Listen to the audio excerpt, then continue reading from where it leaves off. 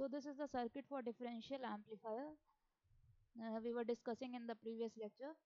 Uh, in differential amplifier you can see that input voltage is applied at both the terminals that is the inverting terminal and the non-inverting terminal and the output voltage V0 it will be the difference of both these two voltages that is V1 and V2. Now let us analyze this circuit using the concept of uh, virtual short here. The voltage at the negative terminal and the voltage at the positive terminal both will be equal. We have to take out the current flowing through this resistance R1 see V1 is the voltage at the inverting terminal V2 is the voltage at the non-inverting terminal and we have the negative feedback configuration here. So the current flowing through the resistance R1 is given by V1 minus V by R1 how come uh, uh, using the Ohm's law V is equals to IR the current in this resistance will be the voltage uh, at one end of the resistance minus the voltage at the other end of the resistance divided by this value of resistance. Similarly the this current is going through this resistance R2 also the same current I1 why? Because when we come to this node we see that the total current I1 which is coming will be going from the resistance R1 will be pa passing through the resistance R2 because into the terminals of the uh, into the terminals of the op amp the current drawn will be zero because of very high input impedance between these two terminals of the op amp so the current i1 will be is equals to the voltage difference between this two ends of the resistance that is v minus minus v naught divided by r2 now we have to take out the potential at this non-inverting terminal. Here we will be using voltage division rule. The voltage division rule will be R2. We have to take out the voltage across this resistance. So using the VDR or potential divider rule, it will be V plus will be R2 divided by the total resistance in series which is R1 plus R2 multiplied by the total voltage V2. So this is the value of V plus you can see here. Now we know that V plus and V minus are equal because of virtual short and also the currents. These two currents to the resistance R1 and R2 are equal. So we will keep this value and this value and we will equate C V1 minus V plus divided by R1 is equals to V plus minus V0 divided by R2 what we have done here in place of V minus we have kept the value of V plus why? Because V minus is equals to V plus. So in this equation we have replaced v minus by v plus. You can see here. And here v minus is also replaced by v plus. Now what we will be doing next? We will be keeping the value of v plus in this equation. See the value of v plus has been kept in this equation. So we got this final equation and by rearranging we have rearranged this equation. See here. The final value comes to be something this type of equation minus r2 by r1 into v1 plus r2 upon r1 plus r2 into v2 plus r2 square upon r1 r1 plus r2 into v2 again we have taken out common here r2 upon r1 plus r2 from both these uh, terms because this term is common. We have taken it out. And finally we get the value v naught is equals to minus r2 by r1 v2 minus v1 so we see that the output voltage is the difference of the voltage applied at the terminals of the op amp. And this is the gain factor that is r2 by r1 now suppose if the value of r1 and r2 is same then in that condition output voltage v0 will be v2 minus v1 that is simply the difference of the voltage.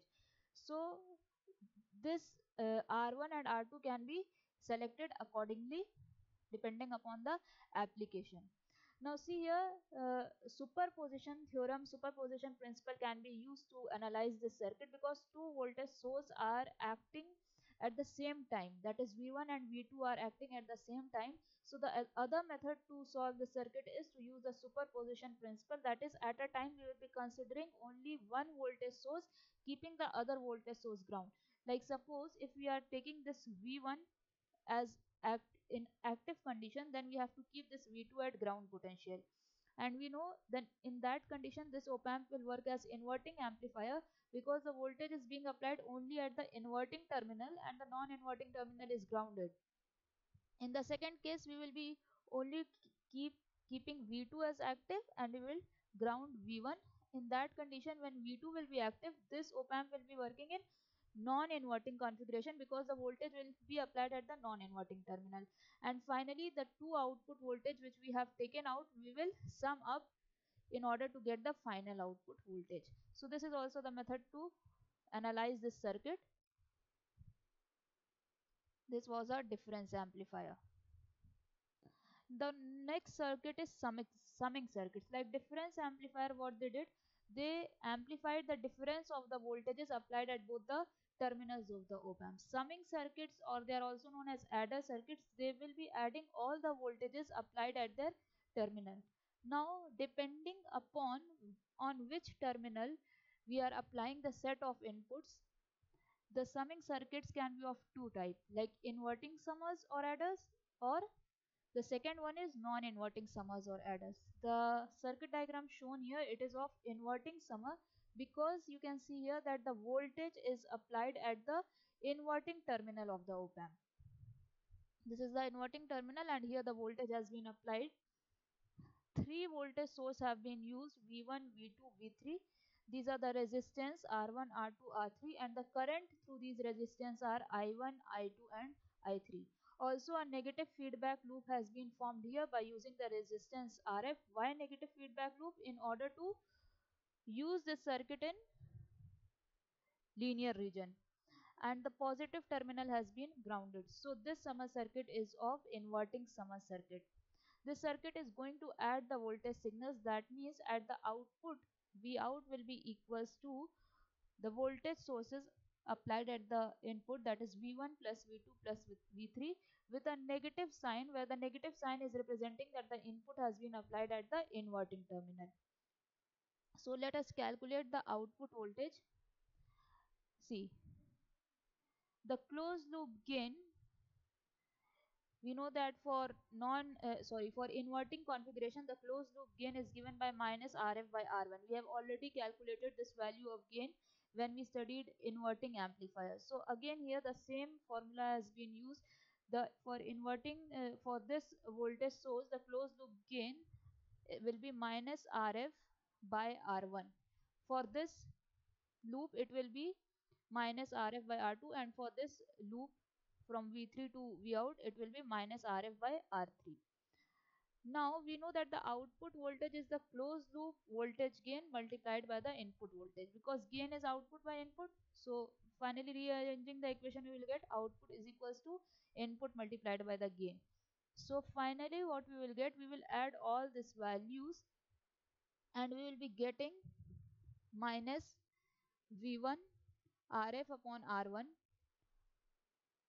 plus minus because we are adding that means plus minus will be minus minus v2 rf upon r2 minus v3 rf upon r3 so the final output voltage will be minus rf Achha, suppose here if all these three resistance values are equal that means r1 is equals to r2 is equals to r3 then in that condition what will happen?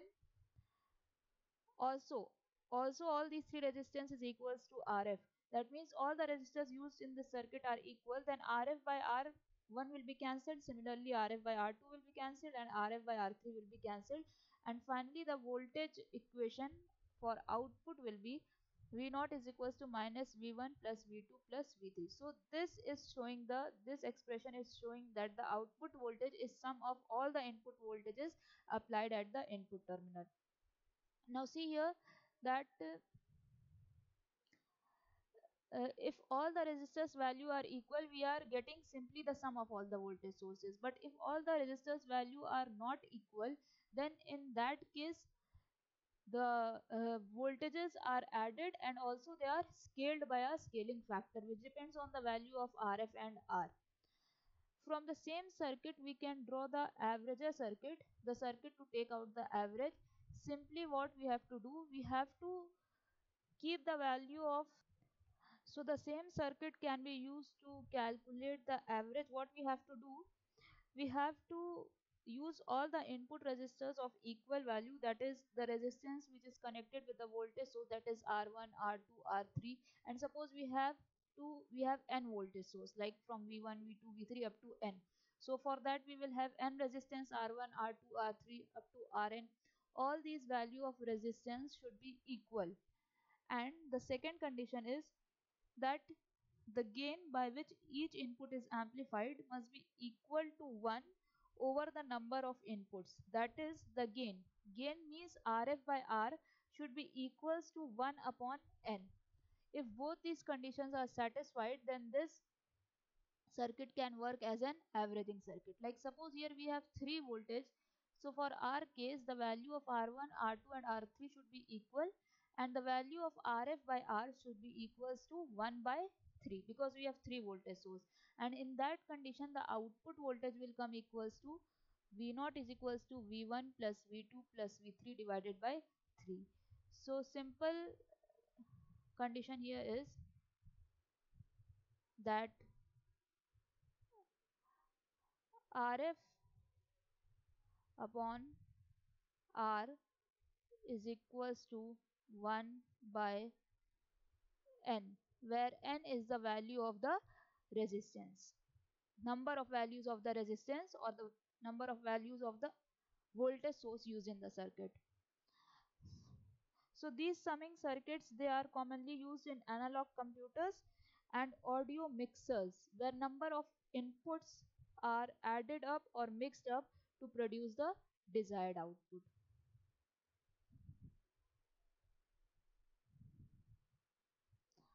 Now coming to the next circuit which is the differentiator circuit. Till now we have seen the inverting amplifier configuration, then we studied non-inverting amplifier configuration, then we saw the voltage buffer circuit or voltage follower circuit, then we saw the subtractor circuit or uh,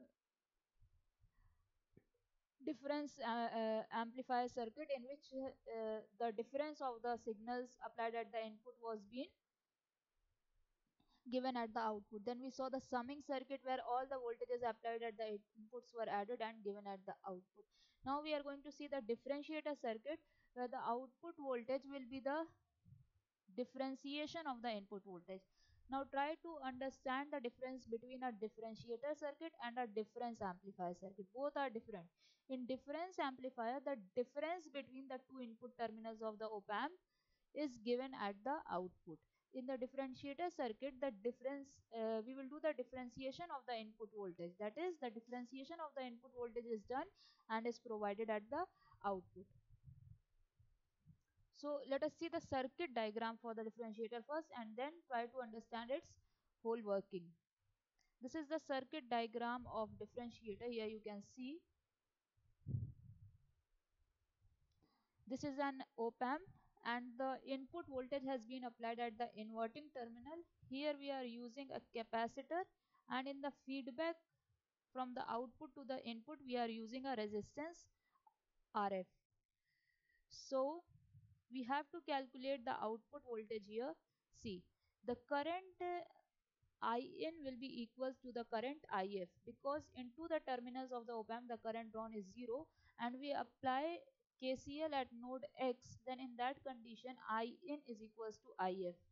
Now the value of IF will be V out minus 0 sorry 0 minus V out divided by RF. Why 0? Because the potential at this node is 0. Why? Use the concept of virtual ground. If the voltage at the non-inverting terminal is 0, at the inverting terminal also the voltage will be 0. So the current IF will be equals to 0 minus V out divided by RF.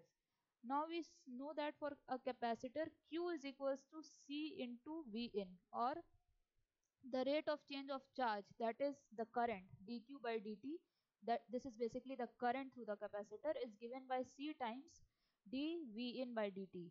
That means the current through this capacitor I in can be given by C into dV in by dt and because at this node after applying KCL we know that I in is equals to IF we can write it as IF is minus V out by RF and In is C dV in by dt we can equate both these equations.